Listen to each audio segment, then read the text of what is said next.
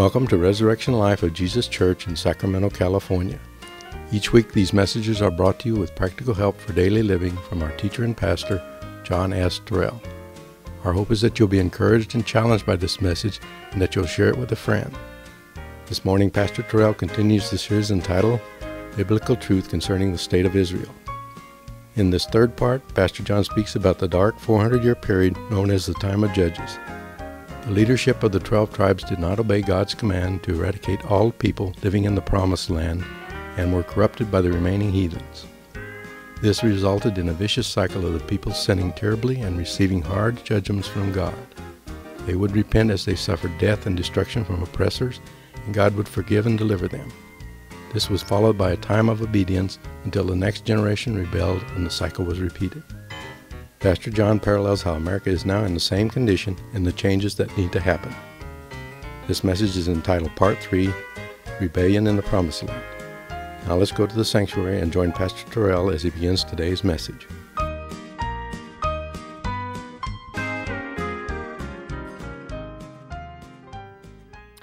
Praise the Lord and welcome to Resurrection Life of Jesus Church, January 25th, 2009.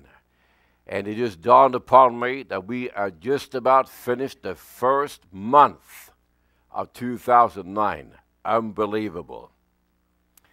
And uh, I'm preaching on biblical truth concerning the state of Israel. And today I'm going to be dealing with rebellion in the promised land. Rebellion in the promised land. Let's stand and let's pray. Our Heavenly Father, we want to thank and praise you right now for the privilege of being able to be here today, to worship you, to have testimony time, to hear little Natalia play the violin, Father God. We thank you for our children that are coming up, the talents you have given them, and that we can nourish them. And that, Father God, they be able to be accomplished musicians and accomplished believers in Christ when they grew older. And be thankful for that. Open up the word to us right now. Let your word become alive. That, Father, we shall be victorious every step we take, every day of the week. And this I ask in Jesus' name. And those who are great said, Amen. You may be seated rebellion in the promised land. Deuteronomy chapter 7, I'm going to be reading the first two verses. When the Lord your God shall bring you into the land, will you go to possess it, and has cast out many nations before you the Hittites, the Girgashites, the Amorites, and the Canaanites the Perizzites and the Hivites and the Jebusites, seven nations greater than mightier than you. And when the Lord your God shall deliver them before you, you shall smite them or destroy them. You shall make no covenant with them, no sure mercy unto them. Last week, I shared with you the commission that God gave to Moses, to Joshua, that they were to simply clear the land of people in idolatry. They made a fatal mistake. The leadership of Israel didn't understand the terrible mistake of compromise. God had told them to kill every Canaanite and any other nationality in the promised land no one was to be spared. This is a commission to Israel at that time, only at that time. It was not going to be carried out any further. But I want to draw a parallel with you here right now for you to understand what has happened to us in America. When America was founded, it was founded on biblical principles.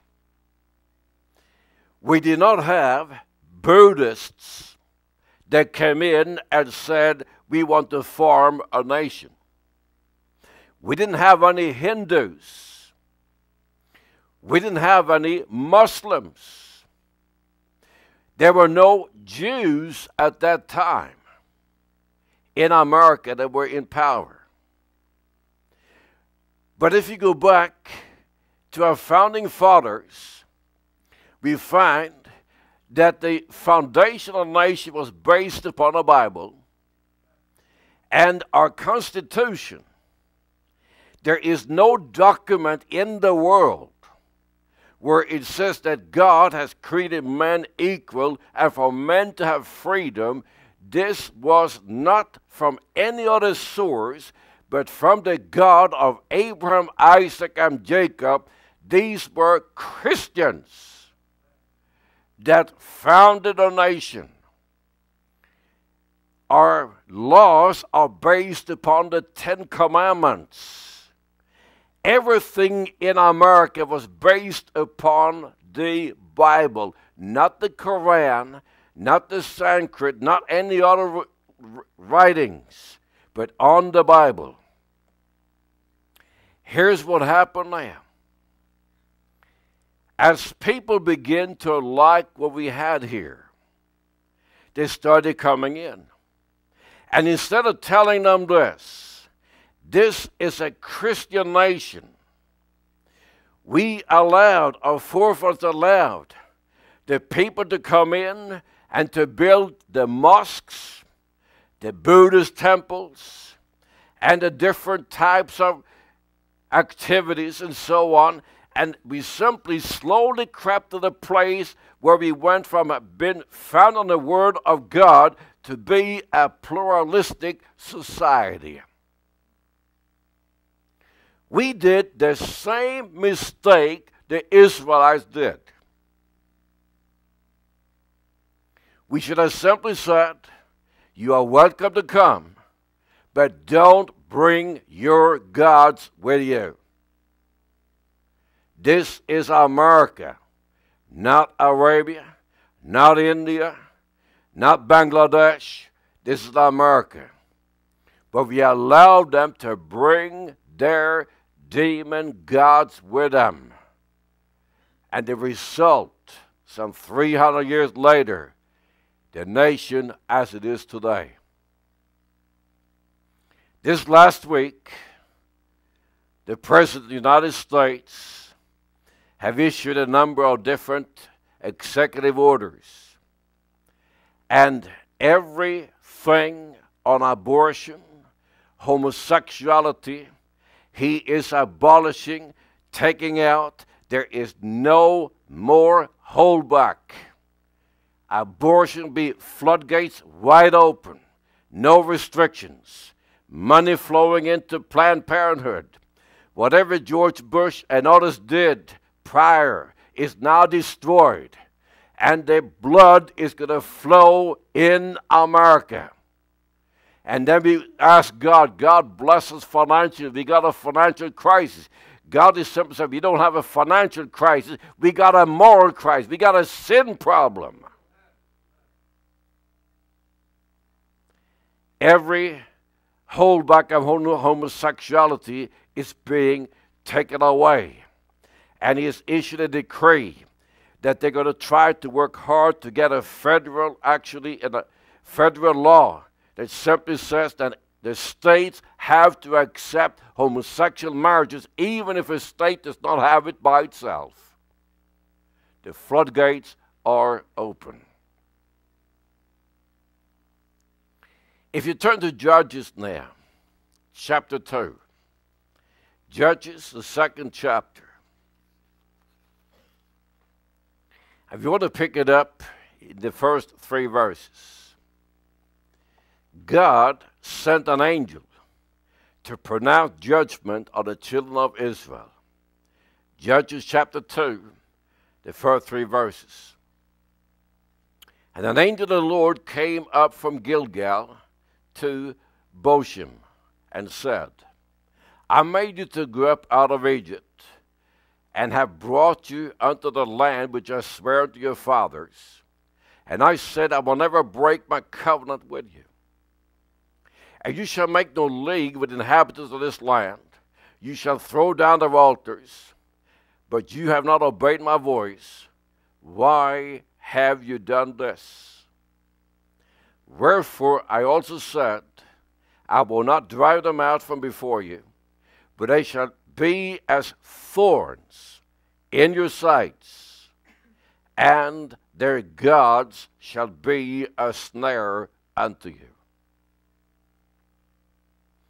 Here's what God said to Israel Since you did not take care of things, I will leave these different peoples with their idolatry in the midst of you, and it will be as a judgment on you. This is where we are today. If you want to do a little study, in about 1898 or 1900, there was a Russian woman by the name of Madame Blavatsky, the founder of Theosophy, highly occult, a powerful witch, a shaman. And when she came to America and established the occult on the East Coast, it was like a chilling hand moved over America, and America changed after that. We are now to the place where we can simply not say, well, we're going to destroy these altars and so on. They are here to stay. We have to live with it. What we have to do is to recognize that we can preach the gospel, we can pray, and God has a power to supernaturally save even the vilest sinner. A revival, an awakening is the only answer. We cannot use weapons. We cannot use political pressure. It has to be a move of the Holy Spirit. Where does that start? It starts with you and me. The first generation of people realized that they had made a huge mistake and had to live with the consequences. We read our verse number four. And it came to pass when the angel of the Lord spake these words unto all the children of Israel, that the people lifted up their voice and wept. And they called the name of that place Bochim, and they sacrificed there unto the Lord.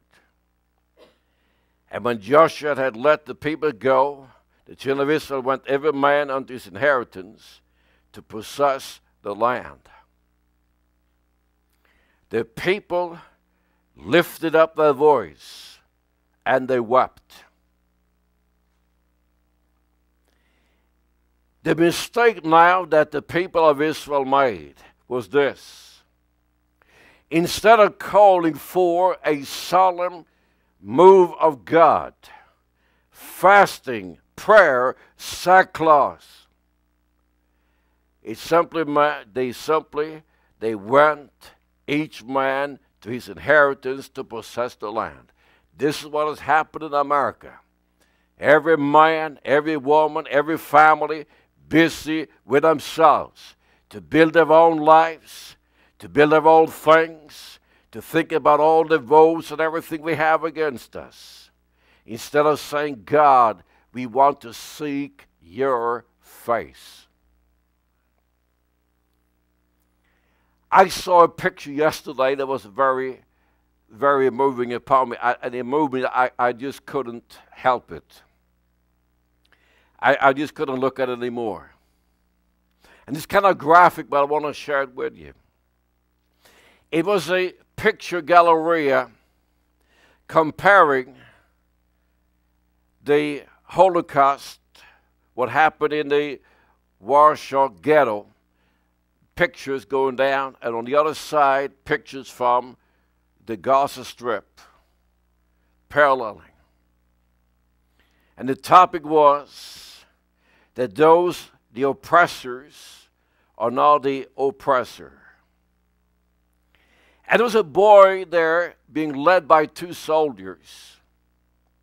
He probably was about 11 or 12 years old. and he was crying hysterical. And then I saw that his one leg, the pants of his leg were wet from the up here and down. And I realized that he simply urinated on himself out of fear as he cried, being led away, not knowing what's going to happen to him, probably 11 or 12 years old. He might have been throwing stones, who knows? But the fear. And I thought about children in all nations over the years that have suffered under war, oppression, and political movements because some adults want to have their will done. I got an email from Belgium this week, and uh, the man that wrote the matter of fact was Gert, and he said all of Belgium is shocked right now because Thursday there was a man that had put on a body vest, the, what you call these armored vests? Bulletproof vests. Underneath, he went to a kindergarten, rang the doorbell, opened the door, and started to stab all the children that was in that kindergarten and killed a few of them, injured others.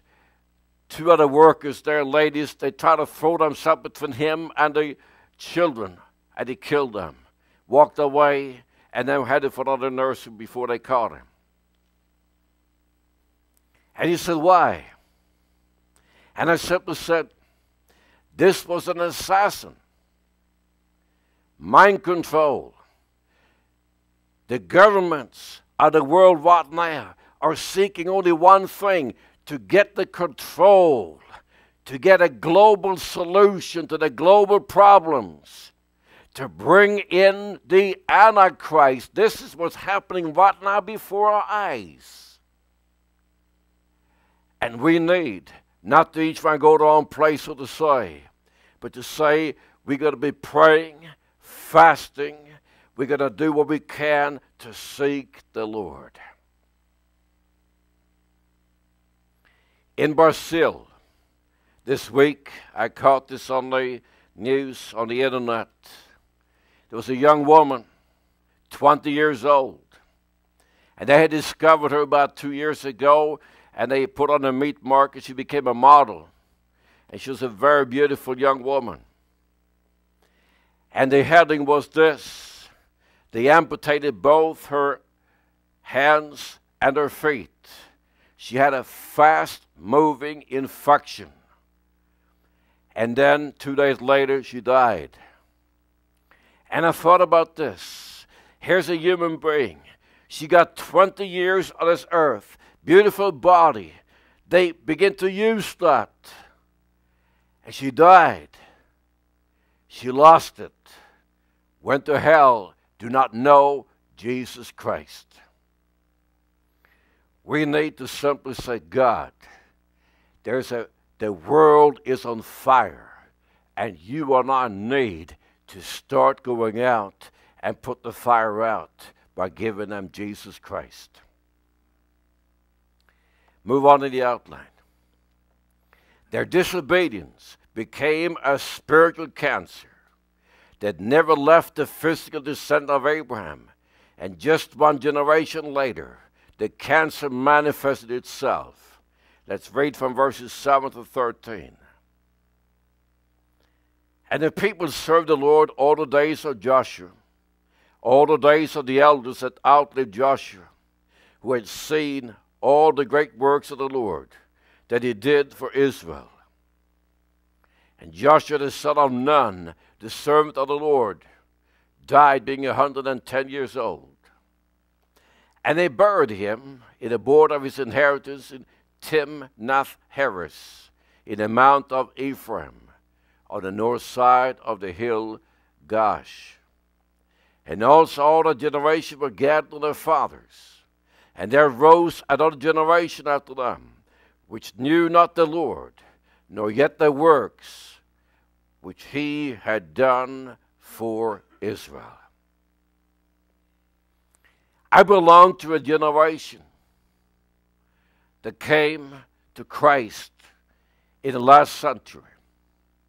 I myself dedicated my life to Christ in 1965. I have seen the Jesus movement. I saw the young people. I was myself a young person at the time. And I saw the Jesus movement sweep America, and sweep over the world. And there was a tremendous revival in the 60s and 70s.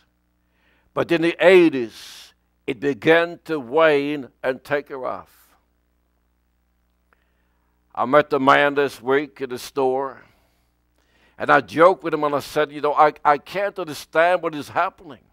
I said, all the, all the men that I went to seminary with, they are all retired. What happened? And if you look upon the new generation, those 18 years, let's say between 25 and down to 15, they do not know the Lord. They've been destroyed in the churches. We've had the purpose driven life. We got the seeker friendly churches. We got all these different things. And in churches today, you have rock and roll, you have loud music, dancing, screaming. You have bastard Bibles, if I can use that term. And if you go and ask a young person, Have you been born again? What do you know? Are you on fire? They simply don't know. That's the new generation. Those are the ones that went by the tens of thousands to the inauguration in Washington, D.C. And they beamed and they smiled. They got their king, and he's going to solve all their problems. They're looking for a Messiah. But no man has a solution. Only God has. Now look at verse 11. And the children of Israel did evil in the sight of the Lord and served Baalim.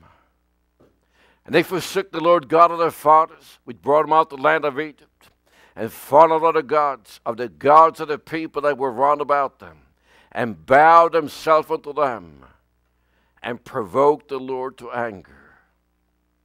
And they forsook the Lord and served Baal and Ashtoreth. And the angel of the Lord was hot against Israel, and he delivered into the hands of spoilers that spoiled them. And he sold them into the hands of the enemies round about, so that they could not any longer stand before their enemies. What are altars today? Every home has at least five altars. There's a set in a bathroom, there's a set in a bedroom, there's one in the living room, there's one out in the kitchen. And if you really look upon the programming coming out of American television today, look upon it it does not lift up the Word of God. Destruction, theft, adultery, fornication, crime. You, you look upon it, there's nothing there. And then they're simply saying, but it's okay you have a family. You know, you can have two or three in a family. It doesn't matter. Two men, two women, and so on and so on. These are the altars of Baal in America. That's where children are raised in front of that altar. That's where they stay as teenagers. That's where they get their inspiration. God simply said, I do not tolerate sin, especially not idolatry and he used not a nation to punish the 12 tribes of Jacob. Let's go back to verse number 14 again. And the anger of the Lord was hot against Israel. He delivered them to the hands of spoilers that spoiled them. And he sold them into the hands of their enemies round about, so that they could no longer stand before their enemies. Whithersoever they went out, the hand of the Lord was against them for evil, as the Lord had said, as the Lord had sworn to them, and they were greatly distressed. I heard this statistics yesterday on one of the news stations. They simply had their introduction and they said that arms sale in America is up over 40% in the last two months. The dealers said we cannot keep weapons in our stores, they fly off the shelves. And the television commentator or whatever he's called, he simply says, Now I wonder why it's so. And they went to interview some people. And this one guy, they interviewed him and he said, Well, I never owned a weapon before in my life. But he said, with all the difficulties coming down, people out of job, no food, and so on, I want to have a gun in case they're coming to my house. People are simply saying there's going to be riots. And the man said, You know, I don't care about the gun. I just want to know I have one there. If someone breaks my door, I got a gun. People in America today are not realizing we have a problem not with finances, we got a problem with God. God is upset with America. He's upset with Western Europe. He's upset with this world. And he's simply saying this that enough is enough and there is a judgment. If you think things are bad now, unless the churches and people begin to turn to God, we might have unemployment. We will have 50 to 60 percent of our people out of work. We might have the, the place where no one has any money. We might be like Zimbabwe, where they're now printing one billion dollar notes. Buys a loaf of bread if they can find one. The church needs to wake up and realize we are under judgment. And unless we as a people, simply says, God, I realize now this is serious. This is not a joke. This is not a recession. This is not a depression. This is a disaster. God will if we repent. Look at verse number 16. Nevertheless, the Lord raised up judges which delivered them out of the hands of those that spoiled them. And yet they would not hearken to their judges, but they went whoring after other gods and bowed themselves unto them. They turned quickly out of the way which their father walked in, obeying the commandment of the Lord, but they did not so. And when the Lord raised them up judges, then the Lord was with a judge and delivered out of the hand of their enemies all the days of the judge. For it repented the Lord because their groanings by reason of them that oppressed them and vexed them. And it came to pass when the judge was dead, they returned and corrupted themselves more than their fathers, in following other gods to serve them and to bow down unto them. They ceased not from their own doings, nor from their stubborn way. We need to understand that when we are saved, we need to begin to walk with God in holiness. Holiness begins in our homes. And, and I find this many times that it is so easy for husband and wives to get into confrontations, their unkind words and so on. And we, we are sinning on the side and we don't recognize it. And we need to come to the place we simply say, My Heavenly Father, make me holy. Convict me of my sins. and help me to walk upright.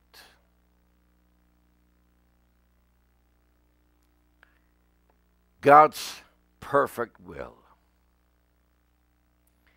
It is devastating for a nation or an individual when they are removed from God's perfect will and forced to live in His permissive will. That's what we are today in America.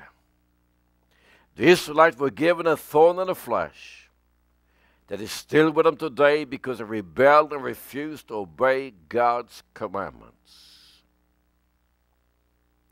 They went in the opposite direction instead of repenting and crying out to God to forgive and restore them from their fallen status. Let's turn to Judges chapter 3. And I want to read the first six verses. Now these are the nations which the Lord left to prove Israel by them, even as many of Israel as had not known all the wars of Canaan. Only that the generation of the children of Israel might know to teach them war, at least such as before knew nothing thereof. Namely, five lords of the Philistines, and all the Canaanites, the Sidonians, the Hivites that dwelt in Mount Lebanon, from Mount Baal Hermon unto the entering in Hamath. And they were to prove Israel by them, to know whether they would hearken to the commandments of the Lord, which he commanded their fathers by the hand of Moses. And the children of Israel dwelt among the Canaanites, Hittites and Amorites, and Perizzites and Hivites and Jebusites. And they took their daughters to be their wives, and gave the daughter to their sons, and served their gods. I want to read to you from my box. It is now a little bit over 4,000 years since Abram was called by God. The vast majority of his physical descendants lived in rebellion and died in their sins. They created their own belief system instead of accepting the Messiah that God provided for them. And for the time of the captivity of Babylon, the Jewish people knew more about the Talmud and the Kabbalah than the Old Testament. There are very few Israelites in heaven. Turn to Isaiah chapter 10. That's Isaiah, the 10th chapter. If you want to read verses 20 through 23, Isaiah chapter 10. If you pick it up in verse number 20. And it shall come to pass in that day that the remnant of Israel, and such as are escaped out of the house of Jacob, shall no more again stay upon him that smote them, but it shall stay upon the Lord, the Holy One of Israel, in truth. The remnant shall return, even the remnant of Jacob, unto the mighty God.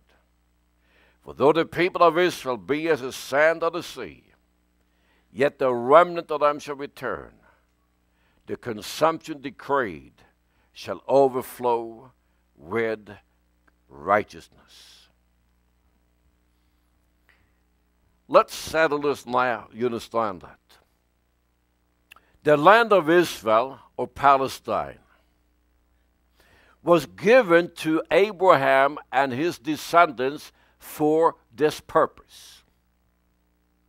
The purpose was that when the Messiah was going to come, he would have a platform.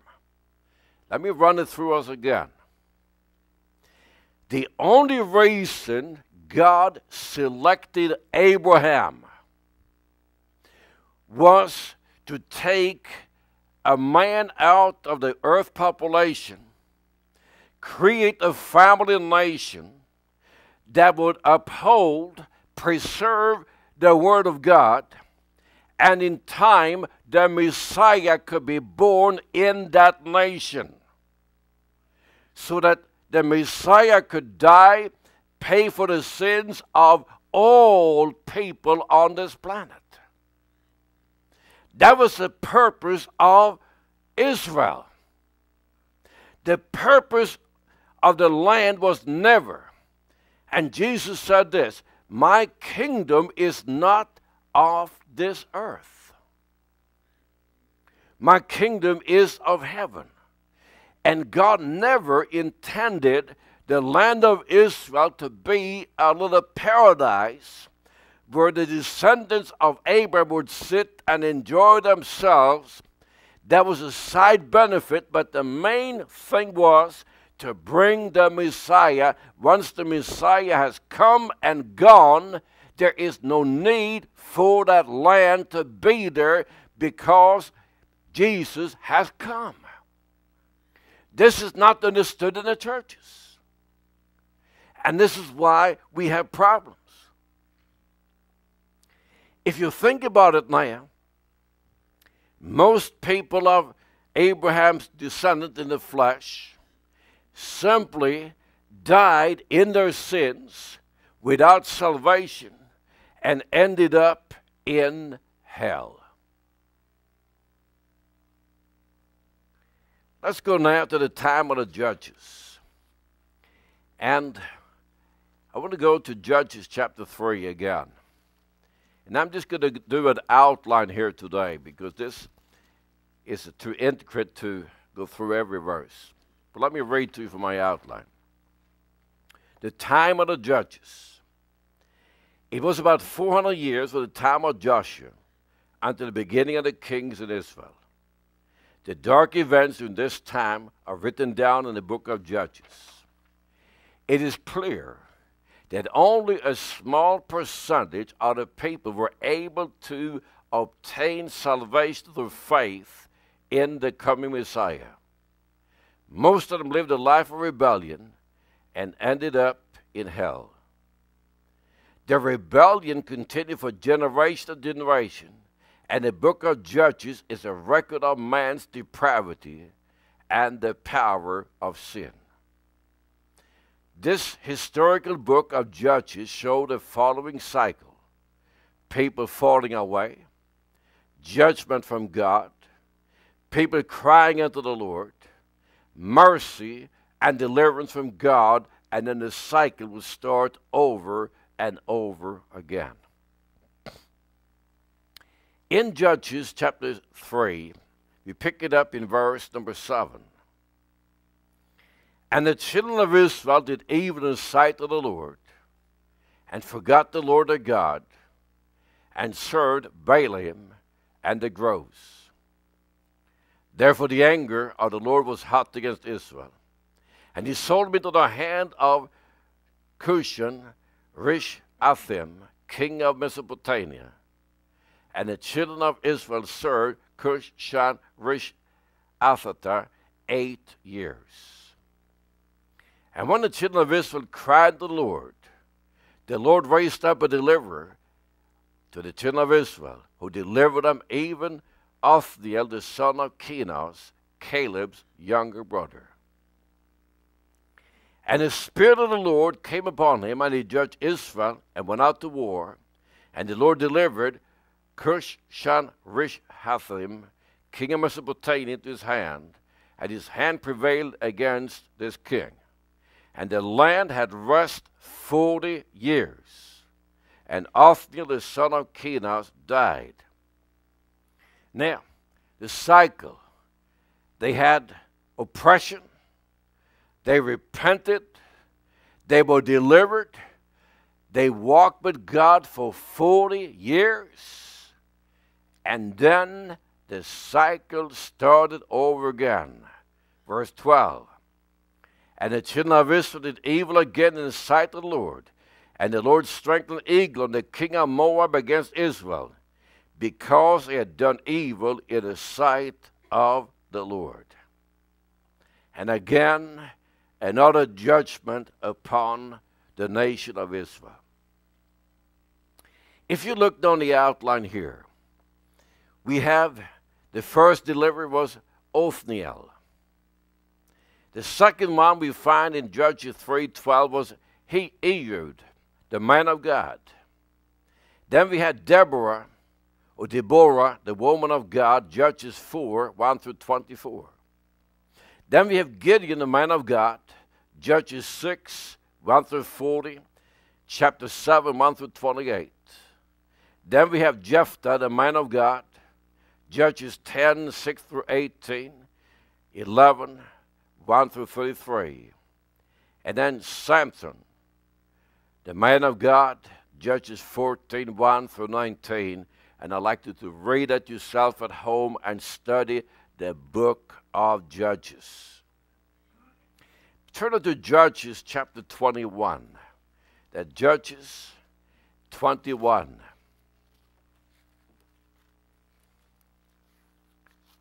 And we're going to read one verse there. Judges 21 and verse 25. The book of Judges closes with this verse. In those days, there was no king in Israel. Every man did that which was right in his own eyes. Would you say that that is a description of America today? Every man doing what is right in his own eyes. How many pastors do we have in America today that are simply preaching, you know what, there is no hell?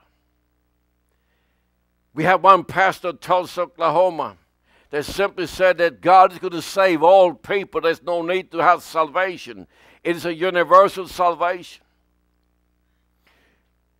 We have men and women standing all over the place telling people all possibilities, and nothing is found in the Bible. And then we wonder why are we in a confusion? I talked to another man this week. He said, "Oh, he up and left his church that he belonged to." He said, "Oh, they, you know, they were kind of seeker friendly. One, they sold their church building and moved to another area here, a little bit more affluent area." He said, "It's time to leave." He said, "We have a really dynamic church right now. Outside our church, we have a coffee shop, and that's where we meet the people." And then inside you got all kind of different activities and so on. And we're really trying to reach into the community. I'm sure that they have nice cancer causing donuts and coffee, you know, between services, you know. And people standing around, you know, between services, eat their donuts and stuff, you know, drink their coffee, you know, come back in, you know, have a little praise the Lord, this and that, you know, it's all over. But what do we need to tell people? We need to tell people, you got to be born again. If a person is not born again, they're going to hell. And if they are born again but living like hell, they need to be told you cannot sin on grace. How would you like to have if we produce medical doctors and you would go to doctor and you simply have a lump here or this or that, you know, you go to the doctor and he says, Well, doc, what can I do? Well, you know, it. Uh, I, I I don't think you got cancer. You know, you might be oozing and smelling bad. I don't think you got cancer. You know what I think? If you eat ten bananas a day, I think you get better at least you will feel better. You know, you eat a banana is happy, you know, yellow color, you know, you eat that banana, you know, that will make you happy. Now go and eat the bananas 10 a day and come back and see me three weeks from now. Well, three weeks from now, the guy is in the morgue. He died eating his bananas. Now, what the ministers are doing is this we are giving people sugar, candied cotton, whatever it is, and it simply makes them feel good for just a little bit. But when the chips are down, there's no substance. This is where you and I come in. Not just me, but you. You are preachers. Every one of us are preachers on a daily basis during the week. You meet people that I do not see. And it is up to you to reach them for the Lord Jesus Christ. In those days, there was no king in Israel. Every man did that which was right in his own eyes. What have we done as his Is this? We have gathered together and simply said this. We're going to put our resources together. We're going to be pushing the gospel. We're going to have the webcast. We got printed material. We're doing other things. And we have put our resources together to work out salvation for people outside this church. We don't have anarchy. But the children of Israel lived in rebellion for some 400 years. And God turned them over to anarchy. Our nation is in anarchy. Here's a president of the United States, married, two small children. Instead of protecting marriages, says, well, you know, I might be married, I might have this and that, you know, but if you want to be living together to homosexuals, two men, two women, whatever, I don't care. It's destruction of a nation. Because a family is the cell of a nation. These are the cells, the core of a nation. What can we learn from this? Let me read you from my outline. Nations and individuals are cursed when they turn from God and would have to live a life of misery, sickness, war, oppression, and early death. Hell is waiting for the individual when they die. If sinners turn to God and repent, He will forgive and start a restoration process. Turning to God and calling the Messiah will give them eternal life. Turn to Matthew chapter 7. The book of Matthew chapter 7. I'd ought to pick it up in verse 21. This is what Jesus said. And let me just shoot this in today. It's a little bit off, it's not part of the message. But have you noticed this when you read the New Testament? Did Jesus ever talk about the promised land for the Jews in the New Testament? Never did. You know, if that would have been important, wouldn't Jesus simply said, hey, you know, we're going to clean out the Romans. I'm going to set this kingdom up. But he said, my kingdom is not of this world. And the only thing Jesus was concerned about was that people repented of their sins and were saved and put into the kingdom of God. That was his message. Shouldn't that be our message? Matthew 7 21. Not everyone that says unto me, Lord, Lord, shall enter into the kingdom of heaven, but he that does the will of my Father which is in heaven. Many will say to me in that day, Lord, Lord, have we not prophesied in your name? And in your name have cast out devils? And in your name done many wonderful works? And then I will profess unto them, I never knew you.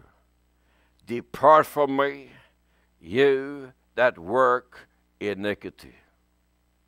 And then I will profess unto them, I never knew you. Depart from me, you that work iniquity.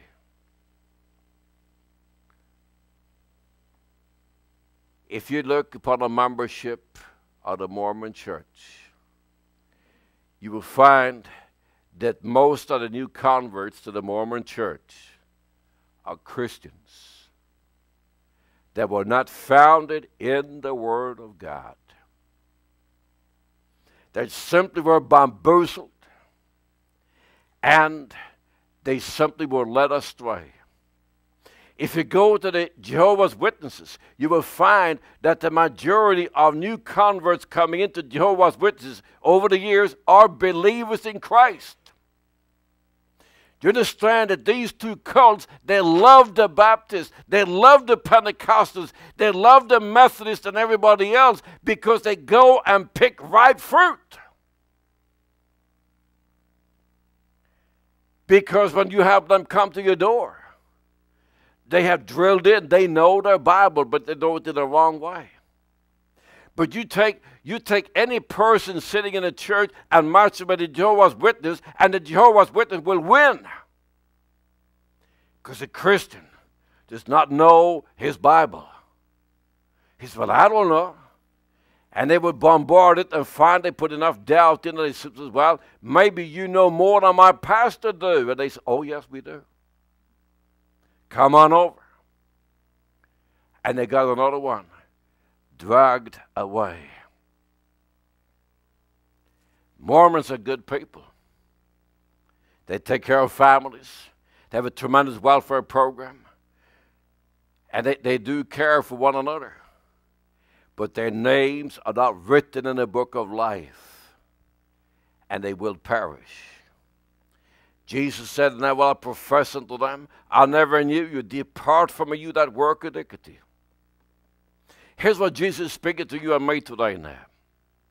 Therefore, whosoever hears these sayings of mine and do them, I will liken him unto a wise man which built his house upon a rock.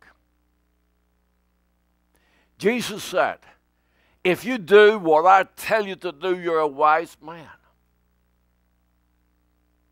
Let me ask any one of you. Let's say, for example, now that you go, you're going to get a new job. You're looking for a job. And uh, you put your application and everything else. And then uh, they say, Yeah, we, we, will hire you. And uh, they said, Okay, now this is what we do. Oh, you know, I don't take orders. Uh, I'm so independent. You know, I want flexible hours. I show up when I feel like I'm showing up. But you know, I want to know how about my vacation time? How much vacation time do I have? How much sick leave do I have? What are my bonuses? Well, let's talk about work. Oh, that's a dirty word. Oh, don't talk about that. They make me depressed. How many people have not heard this on a Monday morning and you say, Good morning? They say, Oh, Monday morning. What's good about Monday morning? You know what I tell them? I have a glory over.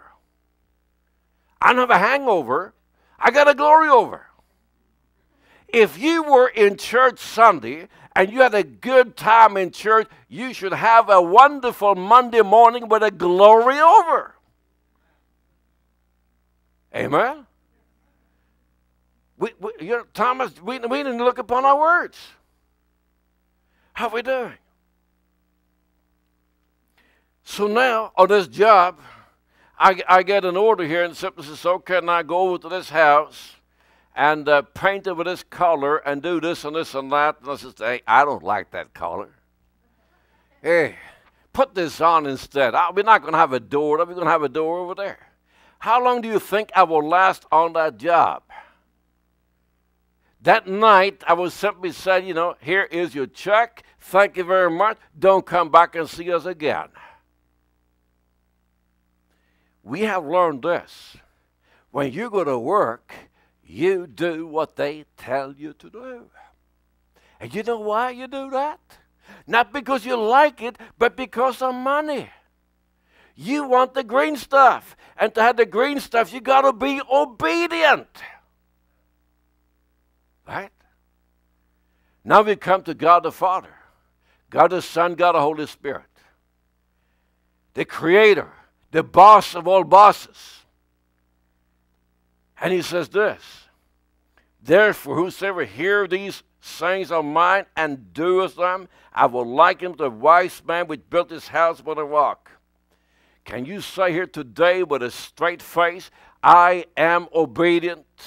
If God said it, I believe it, I do it. Or are you simply having a little bit over here, a little bit over there? You know, yeah. If you do, you're building a house upon sand. And the rain descended, the flood came, and the winds blew and beat upon the house. And it fell not, for it was founded upon a rock. This is where, this is our message right now. We have the rock, the Lord Jesus Christ. I don't know what's going to happen in the world. I don't know about finance and things like this, but I know one thing. I stand upon the Lord Jesus Christ. And He said He will never leave us nor forsake us. He will take care of us one halfway the other. But now, put your seatbelts on. Let's talk about the prophet Elijah.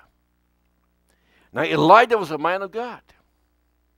Elijah pronounced judgment upon Israel. He did not rain for three years. And God said, Elijah, you're going to have to get out of your comfort zone. You're going to be camping out here in the wilderness. There's a brook there. You got your water there. And then the birds, the ravens, will come at night or during the day, and they will bring you bread. Now, what they got the bread from, I don't know, but I think the angels baked bread and simply told the ravens, pick it up and give to this guy over here. Now, it was a disaster in Israel. So, what did God do with his man? He gave him food, lodging, and took care of him, but the luxury was gone. Then the brook dried up. And then God said, Elijah, get over to that next country. He said, I have what? I have a widow that will feed you. Now that, that destroys your pride. You know, here comes a man of God, you know, meet this widow. He says, Mrs. Widow, uh, God told me here you're going to feed me. What do you have? He said, Well, I just got a little bit of oil, got a little bit of flour. I'm just going to cook this. I'm going to die. He says, You know the story. They poured up the oil. He prayed over it. And here he lived now for a number of days and got food, and he was provided by a widow. We need to come to the place we simply say, God, I might not be able to drive my chariot anymore. It might be that we be walking on the streets together. It might be we in the park someplace and suddenly there is manna, food coming down from heaven. God will take care of us, but we might lose our comfort. You got to be prepared. And then verse 26. And everyone that hears these sayings of mine and does them not should be likened unto a foolish man which built his house upon the sand. And the rain descended, the floods came, and the winds blew and beat upon that house, and it fell, and great was the fall of it. And it came to pass when Jesus ended his sayings, the people were astonished at the doctrine. For he taught them as one having authority, and not as the scribes. I was told some time ago by a good friend of mine, you are stubborn. You don't have any gray area. I said, No, I don't. I don't have any gray area. Yes is yes, no is no. Anything above that is a sin. You're either walking with the Lord, or you're not walking with the Lord. And the question now is this Which road are you traveling on through life? Which road are we traveling on? I believe that most of you are here today, you have made a decision. You have accepted Christ as Lord and Savior and surrendered your life. But I'm going to call you now to a higher calling to pray, to fast, and to seek Lord on a deeper level. We need to dig deeper. We need to have more Bible reading, personal Bible reading. We need to pray more. And we need to ask God every day, Lord, who am I going to see today? Think about this. Somebody gave you the gospel sometime. Somebody gave you the gospel. You responding to God saved, you're going to go to heaven. You walk out of here today, and you're going to run off to have lunch or whatever it is, and so on. And you might pass somebody on the road and they stop and say a word or so. Are you thinking about that might be the only time that that person will meet a true born again believer in Christ? The only time. He's flying through life on his way to hell, and here God sends you in, and you take one look at that sorry looking thing and says, I don't have time for you. Hey, I got, I got an appointment.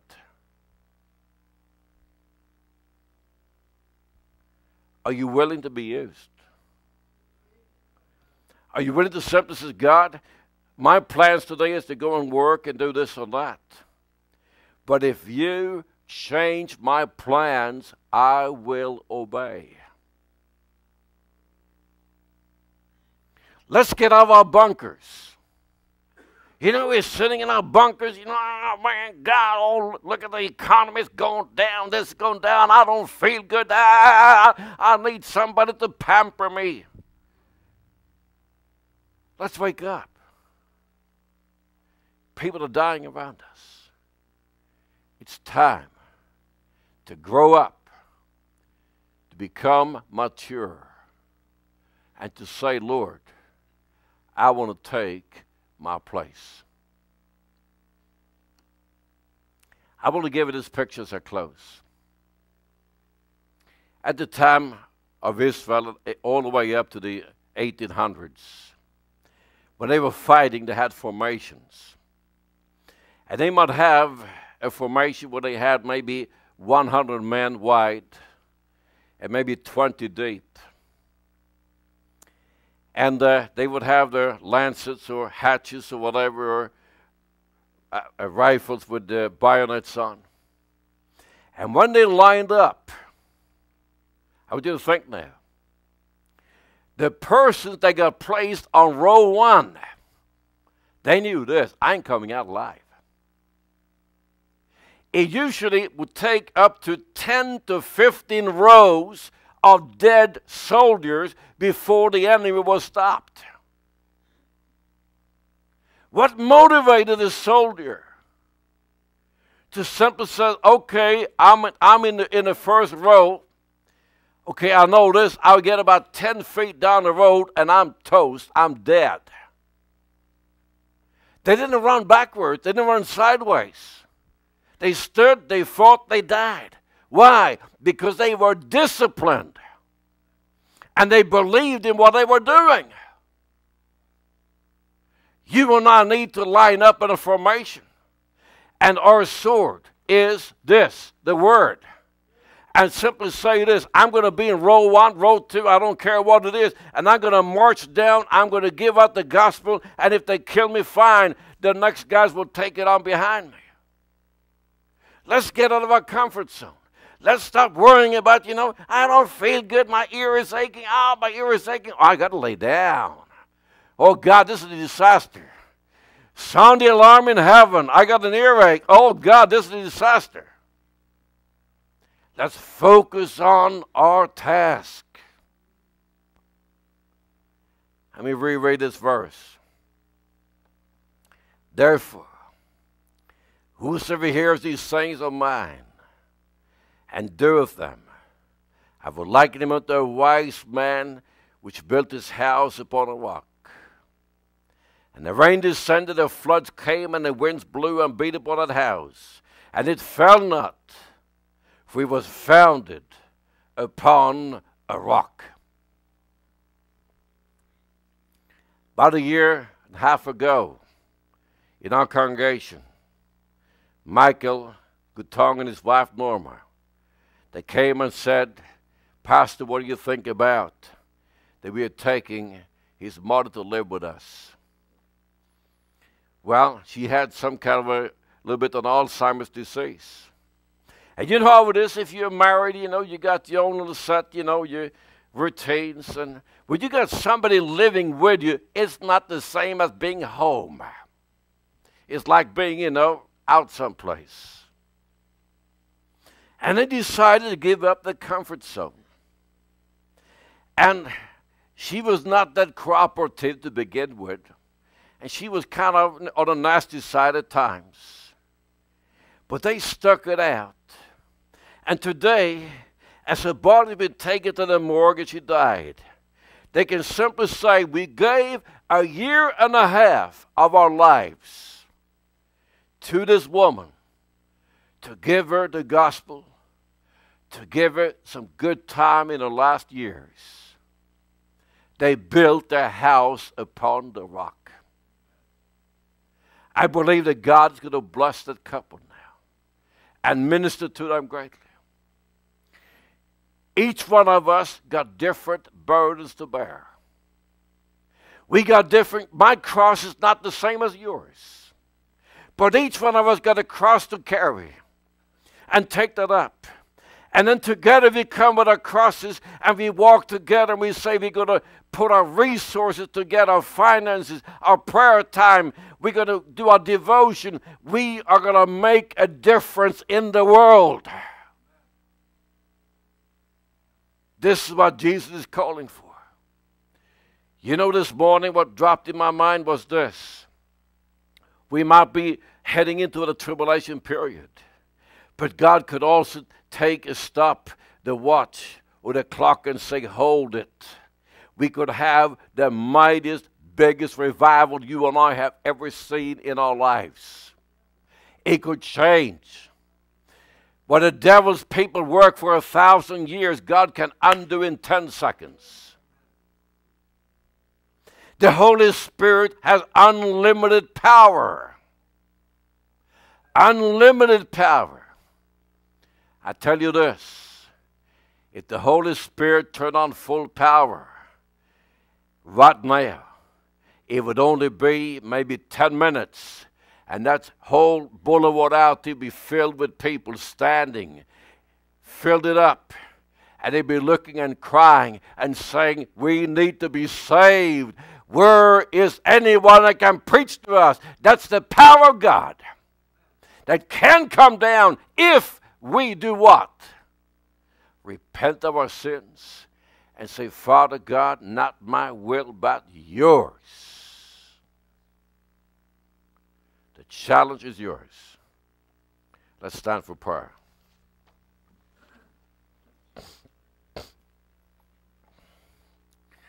My Heavenly Father, I might have been all over the map today.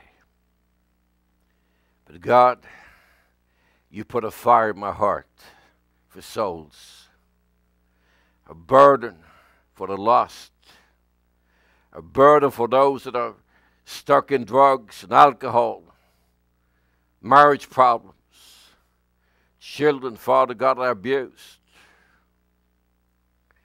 And Lord, I pray right now that you will do the same thing as you did with Moses. When you took the burden and the spirit that you had on Moses and placed upon the 70 others to share his burden. Father God, I pray right now that in this congregation today and wherever my message is heard, that your Holy Spirit would simply take the same Spirit, that there will be a fire. A fire will begin to kindle in our souls and hearts. They'll begin to burn, and they would simply say, I will surrender my life today like I've never done it before. Jesus not my will, but yours. Use me and help me to be the man and the woman that you designed me to be. And I thank you, Father, for touching the people here today. I thank you, Father God, for touching the people that were watching us, people listening to us over time. And Father, if there's one person today who is not saved, I pray that that person right now will recognize that he or she needs Jesus. And that's the case. All you have to do is to say, My Heavenly Father, forgive me of my sins. I repent. I recognize I'm a sinner. Jesus, Jesus, come into my heart and be my Lord and Savior. Jesus, save me right now. And Jesus will and you will be born again. As we sing, altars are open, you come and seek the Lord. On my right here, you have chairs at the couch. Come on up, get ready for the music. And you can go there if you want to talk to God and just sit there and talk and pray. No one will disturb you. If you want to be prayed for, come on up. Our elders will be here. We pray for you anointed with oil. It's up to you.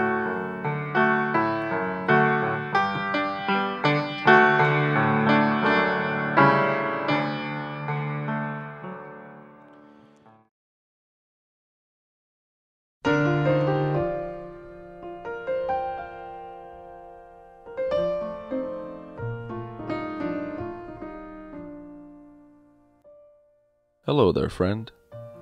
You might have some questions about Christianity. There are many so called Christian churches out there. So, what makes a person a Christian? How do you get right with God? And how do you know when you'll die that you'll go to heaven? How exactly does a person get to heaven? Does God have a standard? And if so, what is it? What I'm about to tell you will be the most important information you will ever hear on this earth and your decision will determine how you spend eternity. As you continue listening, I will explain. The bad news is this when we are born into this world, we are automatically born with sin. Now, you might think of yourself as a good person. After all, you're nice to other people, you give money to charity, and you try to live a good life. However, everyone has sinned and fallen short of God's standard. So it doesn't matter how moral, religious, or philosophical you are, you've broken God's commandments, and that has separated you from God. The Bible says in Romans 3:23, "For all have sinned and come short of the glory of God." Now you might say, "Well, I'm a good person. Doesn't that count for something?" Okay. Let's take a little test. I'm going to ask you 3 questions. 1. Have you ever told a lie? 2. Have you ever stolen anything? Even something insignificant like a paperclip at work? 3. Have you ever lusted after someone of the opposite sex? Okay, how did you do? Most likely you answered yes to all three questions, which means you just failed the test. You see, these three questions are but three of God's Ten Commandments. Failing just one commandment disqualifies you from getting into heaven and has condemned you to hell. This is why the Bible says in Romans 6:23, "For the wages of sin is death, but the gift of God is eternal life through Jesus Christ our Lord." You see, God knows that we are all guilty of breaking his commandments. That's why he said we've all sinned and fallen short of his standard. But you don't have to be depressed about this. I do have some good news to share with you. In Romans 5 7 through 8, it says, For scarcely for a righteous man will one die, yet peradventure for a good man some would even dare to die.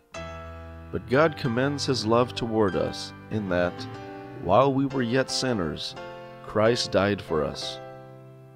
You see, God loves you so much that he gave his only begotten Son, Jesus Christ, to pay for the sin in your life. Jesus was more than just a good man.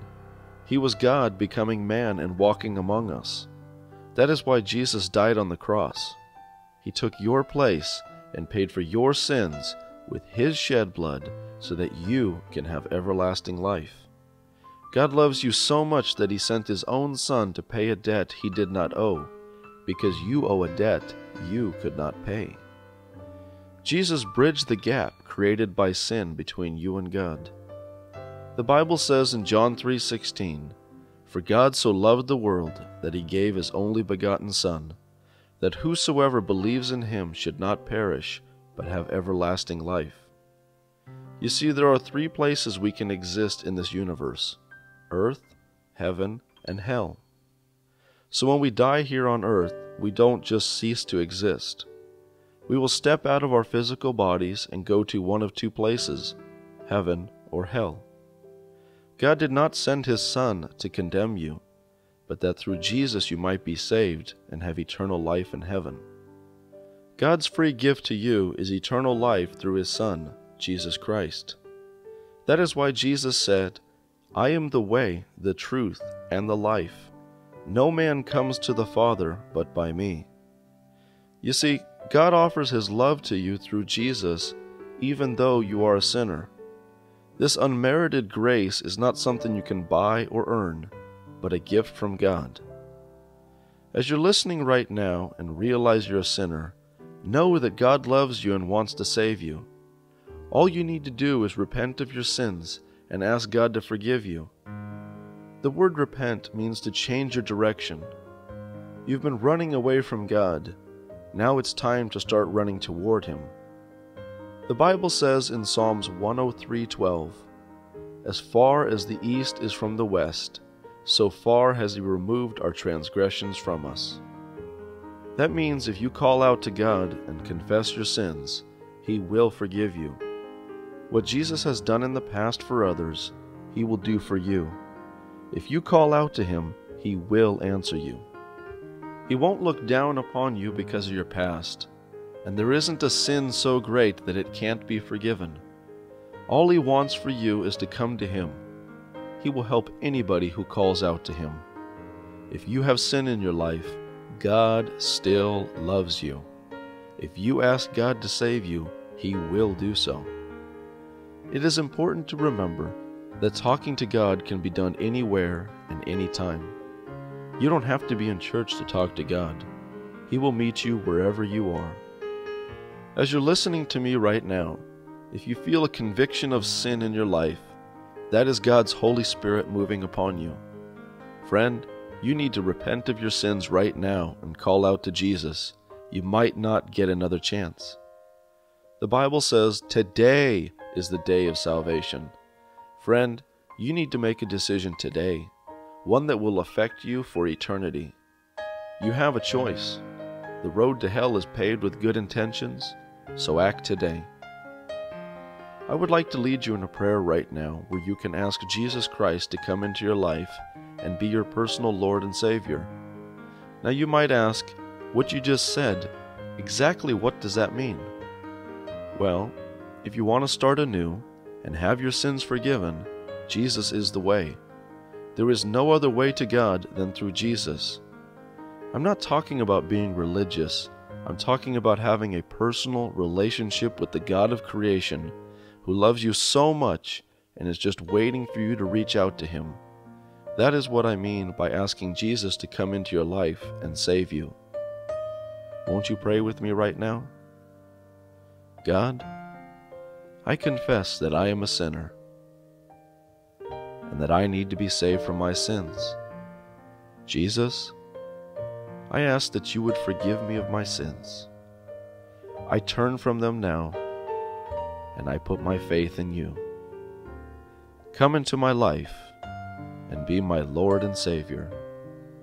I believe that you paid for my sins on the cross through your shed blood, and that you died for me and rose from the grave. Save me, Jesus. I know I can't save myself. Thank you for saving me and giving me eternal life and a place in heaven with you. Help me to be obedient and to walk with you. In Jesus' name I pray. Amen. If you just prayed with me and asked Jesus to save you, you are now a Christian. You have become born again and are a new creation in God's eyes. The Bible says in Romans 10:13, "For whosoever shall call upon the name of the Lord shall be saved." You see, you're not saved because you might feel saved but because you have called upon God and He has saved you. Now, as a way to grow closer to Him, the Bible tells you to follow up on your commitment. Spend time with God each day. It doesn't have to be a long period of time. Just develop a daily habit of talking with Him and reading the Bible. Ask God to increase your faith and understanding of the Bible. Also, find a local church where you can worship God and seek fellowship with other Christians to answer your questions and support you. Be sure they use a King James Bible if you live in an English speaking country, and that the pastor teaches out of the Bible. Plus, don't forget to share your new faith in Jesus with somebody else. After all, if I didn't make this recording to share with you, how would you have heard the good news? Finally, please contact us and tell us about your decision. We will send you some written material that will help you in your new walk with Jesus. This is Charles Torell with European American Evangelistic Crusades. May you grow in grace and in the knowledge of our Lord and Savior Jesus Christ. To him be glory both now and forever.